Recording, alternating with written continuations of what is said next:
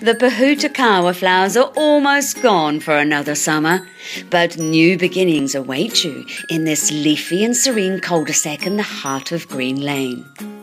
Imagine your sigh of relief at the end of a hectic day as you walk into this undemanding and welcoming home with its level access and a pretty north facing garden. Drop your briefcase, put the baby in the stroller, don your trainers, whatever your circumstances. Wonderful Cornwall Park is minutes away for a nature ramble and dog walking duties bump into the neighbours and catch up with friends at the local cafes and shopping precincts nearby. Good schools are all around you, and the commuter routes are easily accessed.